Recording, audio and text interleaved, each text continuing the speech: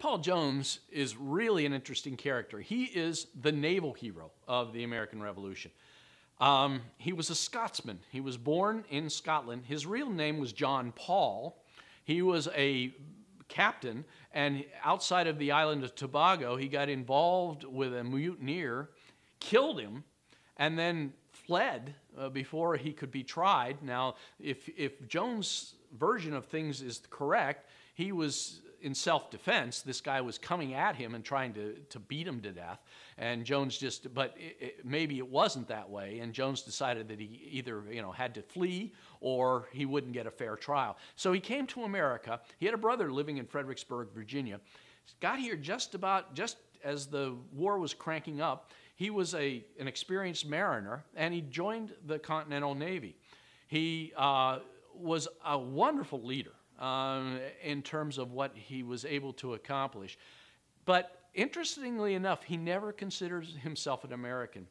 After, uh, after he captured Whitehaven and tried to capture the Earl Selkirk, he wrote a letter to uh, Lady Selkirk and said, I am a citizen of the world. I am essentially a fighter for, well, I'm, I'm paraphrasing. I am fighting for freedom, for the freedom of all people. But I'm not an, truly an American. Uh, so, you know, I'm a disinterested patriot, if you will. But he wanted desperately, he was also a, a self, he wanted to climb, and he was a self aggrandizer, he, he, a self promoter and he was a wonderful naval leader. And the battle between the Bonhomme Richard and the Serapis is a, an important battle, not so much because of its outcome. I mean, these are two, this wasn't even the big ships of the day, these are smaller vessels. But it proved that the American Continental could fight and win because the Serapis, the British vessel, uh, a 50 gun vessel, was enough uh, was formidable enough and was a new vessel that you know it showed that Americans could fight. And the War of 1812, which is almost a, a carry-on, if you will, is the Navy's war because uh, the American Navy took this lesson to heart and decided we could fight the British vessel for vessel so that there you have old Ironsides and you had you know a series of victories by the American Navy and I think they learned from John Paul Jones. They got the confidence they needed from John Paul Jones. And um, he also uh, brought the battle, if you will, to British waters. There were really uh, three American ca captains uh, that operated forwardly, if you will uh, Lambert Wickes, Gustavus Cunningham, and John Paul Jones. Jones is the one you've heard. Wickes's ship disappeared in a storm. Cunningham disrupted American, uh, uh, I'm sorry, disrupted British uh, merchants. He captured a great number, and also because he used Spain as a base, he created problems between the Brit Britain and Spain.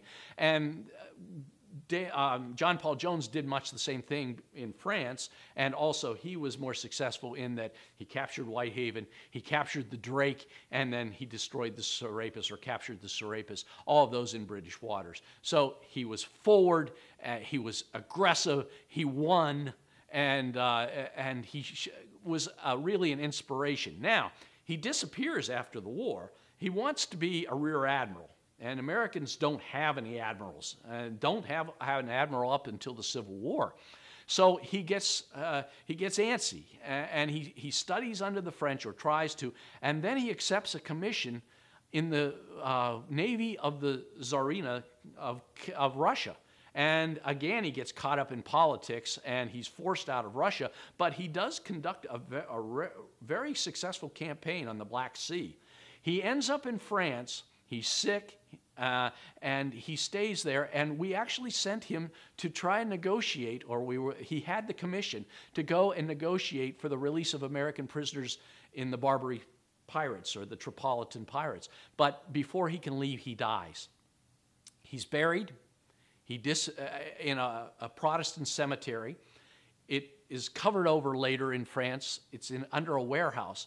So, what happens in the early 20th century President Theodore Roosevelt, Teddy Roosevelt, decides he wants an American hero. And he decides that an early American hero, naval hero, and he decides that John Paul Jones is going to be it. So uh, the American ambassador conducts this incredible search. They find his tomb. He has a lead casket, so it's actually his, his bones are pretty well preserved. They, can they decide it's John Paul Jones, and they send over the, the American fleet, bring him back, and make him a symbol of American, the, um, the resurrection of American naval power. This is the 20th century. America is going to be a great naval power. We are not going to be pushed around. We're going to have a, a first class fleet. And John Paul Jones becomes, you know, the, the symbol, the antecedent to this. And therefore, he is made into the poster boy of the American Revolution and of the early American Navy. If you go to the Naval Academy, if you go under the chapel, there's an incredible sarcophagus. There, there is the remains of John Paul Jones. And it really, it's a it's a feature of the 20th century as much as it is what Jones accomplished because he was forgotten really after the war. But his, um, his, he became a kind of a, a paragon, if you will, of what an American fighting naval officer should be like.